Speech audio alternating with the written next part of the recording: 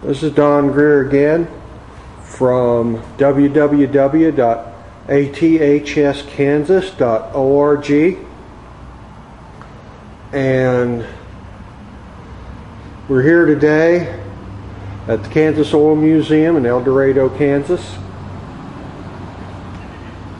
at the truck show. We're taking a break from uh, pictures of old trucks today to show you some of these fascinating exhibits. Uh, if you if you're starting out here, you may want to go back and uh, look at my discussion of the model and the uh, the actual exhibit of a cable tool drilling rig to understand the shot, understand how oil was drilled in the early days. Well, not so early because I know a guy my age who started out working with the old cable tool rigs that the rotary ones came later.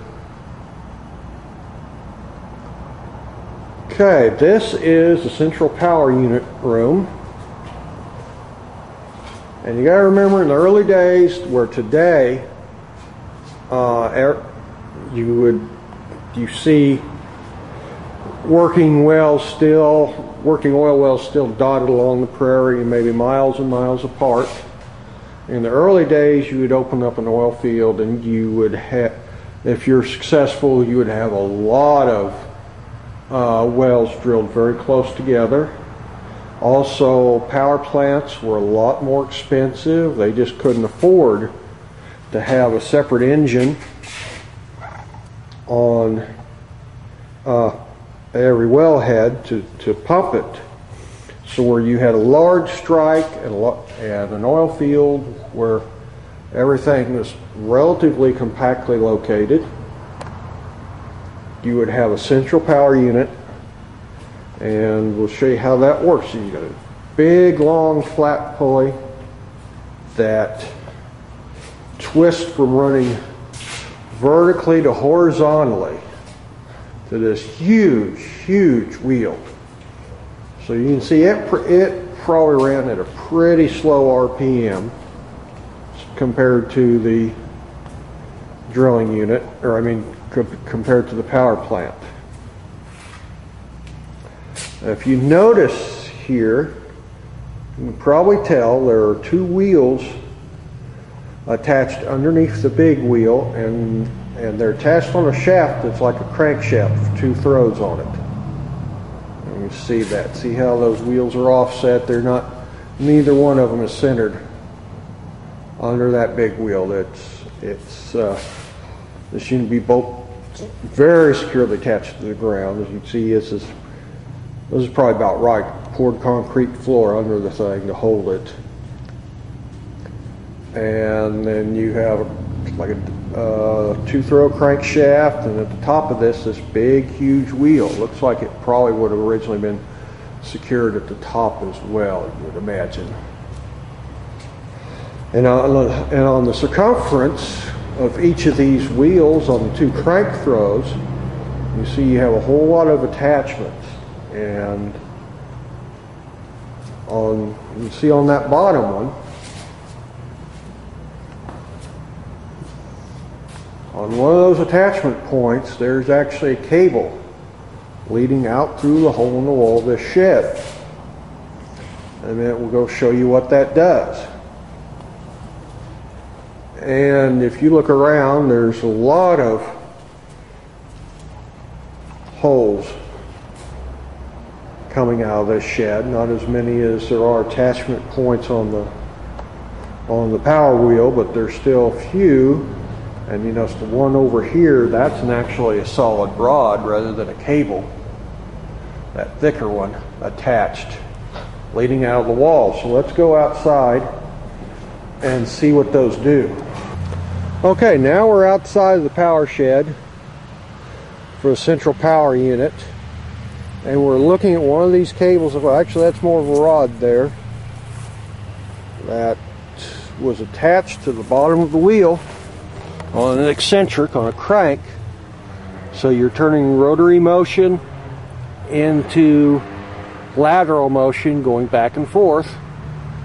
So this cable would move as you see it constantly right and left being turned by that big wheel. And if you notice, if we follow,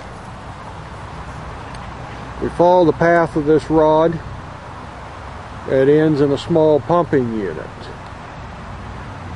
Now, you should note this exhibit, of, of course, is more compact than real life.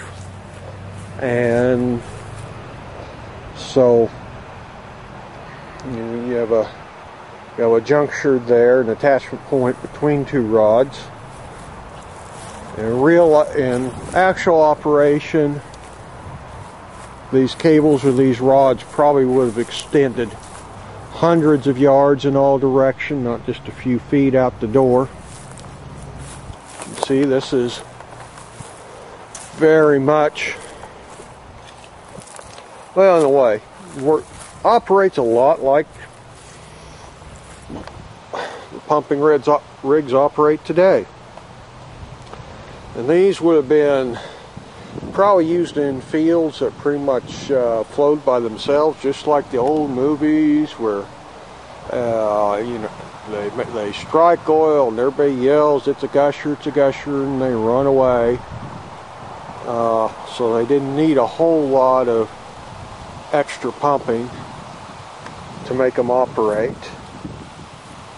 You see the cable pull back on this point would tip this whole thing. It's got a pivot point and that that would raise this rod up and then you have this beam, this walking beam attached here and of course pulls the rod in up and around out of this pump. The pump's not very impressive by today's standards. Looks like about like a water well pump, but that's it. So it took when you already had the oil under pressure, it took a lot less. This is a similarly designed unit attached to another point on the wheel. Now, the interesting thing here is you see this rod's not coming, the cable's not coming straight away from the uh, power unit in the power shed. But it has to go around the corner because obviously you can't have all the rods overlapping each other.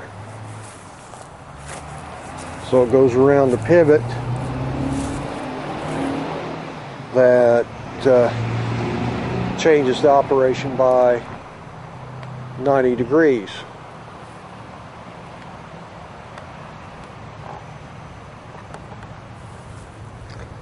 And this is the unit that was attached to the heavy, heavy rod that we saw inside. And I presume that that is, this pump is not to pump oil out of the ground, but to transfer it over a larger distance. Say the, far, the pumps that were farther away from your central tanks, you probably had to have a booster pump to make the oil flow that distance.